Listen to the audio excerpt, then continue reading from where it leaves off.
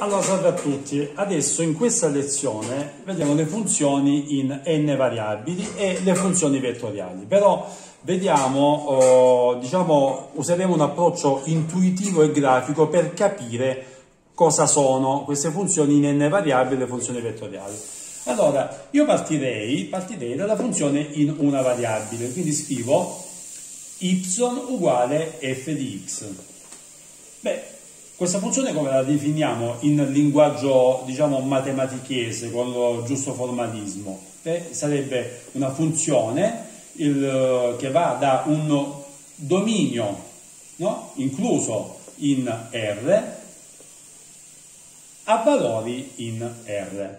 Quindi di cosa stiamo parlando? Stiamo parlando graficamente di un qualcosa del genere, no?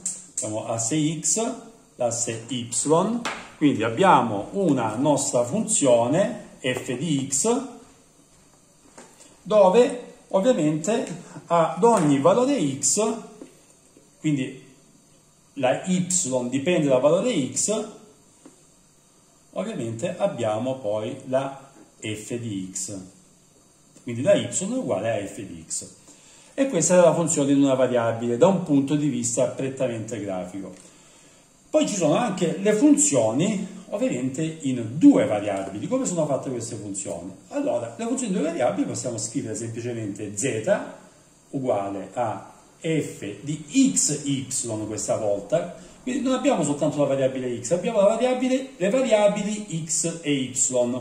In un formalismo matematico potremmo definire f da valori in d incluso in R, un dominio della nostra funzione incluso in R, il dominio è come se fosse questo, no? Io sto considerando questa funzione disettamente in questo caso, questo è D e la serie X è tutto R, chiaro? Quindi sto considerando solo questo pezzo di funzione. Eh, quindi D incluso in R, quadro ovviamente, ha valori in R. Allora, andiamo a vedere graficamente che cos'è questa roba. Bene, in questo caso abbiamo una situazione del genere. Allora, abbiamo l'asse x, l'asse y e l'asse z. Allora, la nostra funzione come sarà fatta in questo caso? Beh, sarà una funzione, diciamo, tridimensionale, consideriamo ad esempio un paraboloide. Un paraboloide, diciamo una specie di montagnola, no? di collinetta. Allora se io vado a prendere un punto, vedete qua noi avevamo il punto P di coordinate x, y o x ed f di x. Se io vado a prendere un punto P su questa montagnola, allora proiettando il punto P a terra, questo è come se fosse il piano terra, è chiaro? Quindi il punto P a terra, quindi questo è il nostro punto P, allora questo punto P che coordinate avrà? Avrà le coordinate x, coordinate y e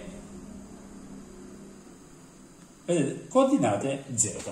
Quindi z, vedete z sarà uguale alla funzione in funzione di x e di y stavolta. Qua avevamo y qua abbiamo z, qua abbiamo y, uguale a f di x, abbiamo soltanto una variabile, qua abbiamo due variabili, perché un punto P preso, ehm, in questo caso non nel piano, ma nello spazio, avrà queste tre coordinate. Noi proiettiamo il punto P a terra, avremo la x, la y e la quota z. Ecco che cosa significa. Ovviamente possiamo avere anche, ve la faccio vedere subito, eh, posso scrivere ecco k uguale a f di x, y e z. Adesso abbiamo tre variabili. Eh, allora come eh, sarà fatto? Nel formalismo noi scriveremo la funzione che va da un dominio incluso in R3 stavolta a valori in R. Beh, come possiamo rappresentare eh, una funzione del genere. In realtà è molto complicato rappresentare le funzioni in due, tre o quattro variabili eh, manualmente, ci si può riuscire ancora ancora in, quelle, in due variabili, ma in tre variabili diventa una cosa un po' più difficile. Infatti ci sono dei calcolatori apposta per fare questa roba qua, però in realtà ci sono state delle grandi menti, cioè coloro, i matematici che hanno ideato, che hanno formulato queste, eh, queste ipotesi, queste considerazioni, in realtà loro le immaginavano, perché l'immaginazione ovviamente in matematica è sempre tutto. Allora, come può essere fatta questa roba qua? Ve lo faccio vedere può essere fatta in questo modo. Supponiamo di essere no? x, y, z, supponiamo di essere in una stanza, in una stanza, questo è il piano terra, questo è l'angolo della nostra stanza, supponiamo che in questo punto, nel punto P, questo punto, ragazzi, guardate un attimo, avrà coordinate y, x, ma ci deve essere anche la z, perché eh, k è il risultato. Allora, chi sarà z? Allora, z ovviamente sarà la quota, no? Questa è z. Quindi abbiamo x, y, z, perché no? Questa va tracciata in modo parallelo alla diagonale, giusto per avere un buon punto di riferimento, un attimo che lo faccio un po' meglio questo è l'asse z. Allora, abbiamo x, y, z, queste sono eh, le eh, variabili indipendenti, però guardate un attimo, se io mi trovo in questo punto della stanza, magari in questo punto della stanza avrò una certa temperatura che è questa, no? Un certo valore, eh, questo è K, chiaro? Perché K eh, magari in questo punto è uguale a, che so, 36 gradi.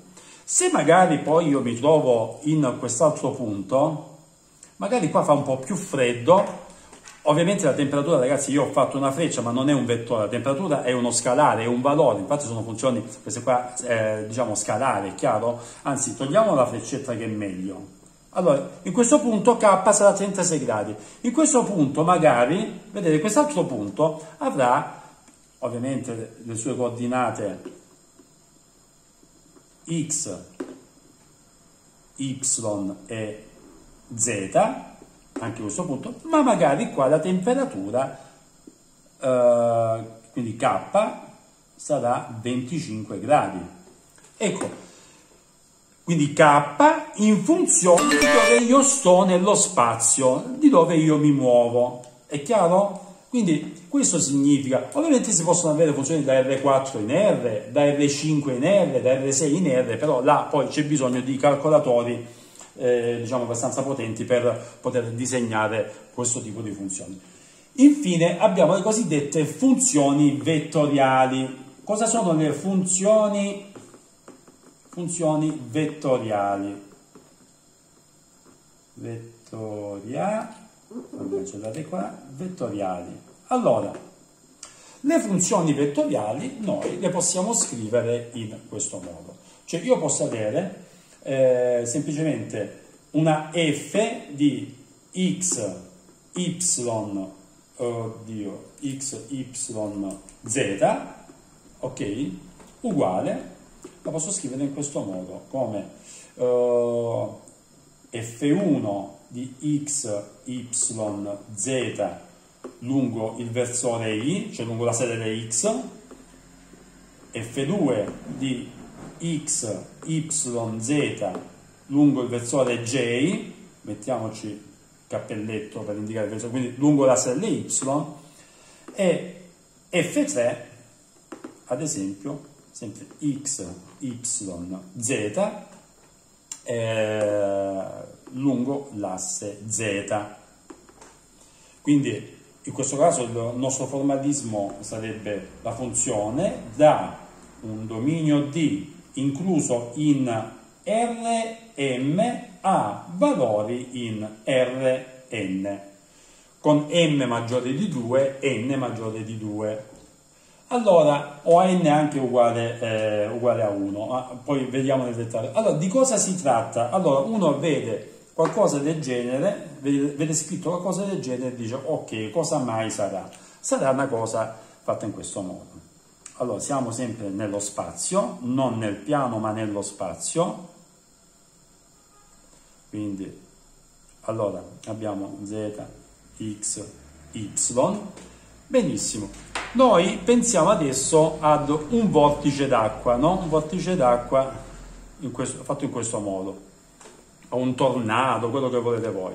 Allora, osservate un attimo, in qualsiasi punto, allora, eh, oppure pensiamo anche ad un liquido, no? ad un vortice di, eh, di, liquido, come quando noi apriamo il tappo del lavandino si crea questo vortice qua.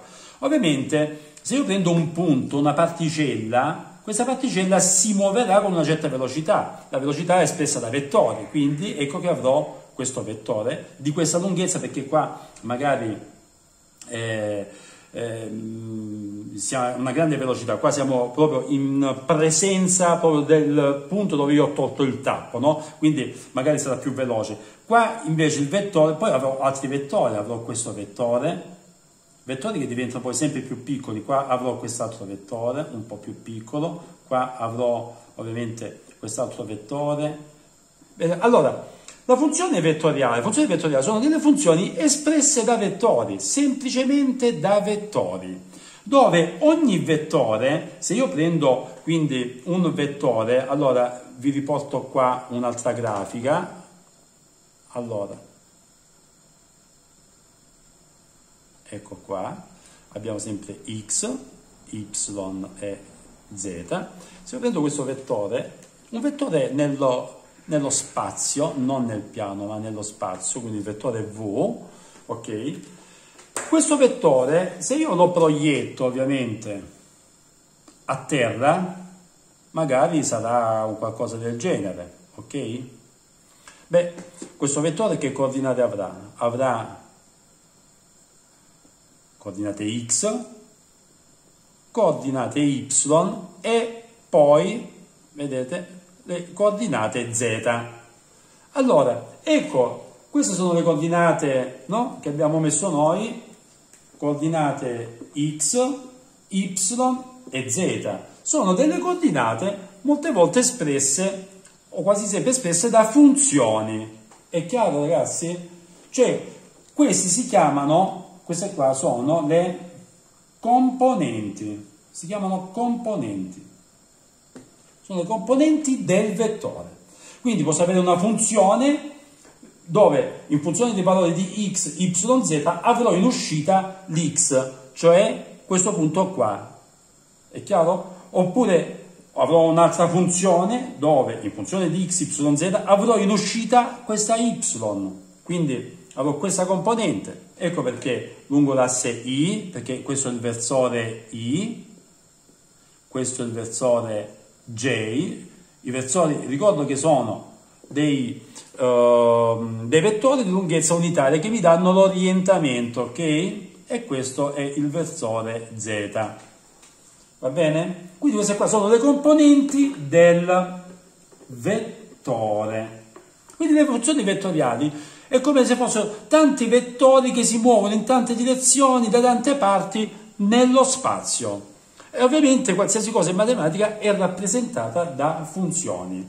È chiaro? Quindi questo è quanto. Questo a livello come approccio intuitivo, approccio grafico, semplificato, perché, ripeto, come dico sempre, la matematica è la bestia nera, è tra virgolette il nemico, e io dico sempre una cosa, il nemico prima lo guardiamo in faccia e poi lo studiamo con semplicità. Ok, questo è quanto come primo approccio e alla prossima.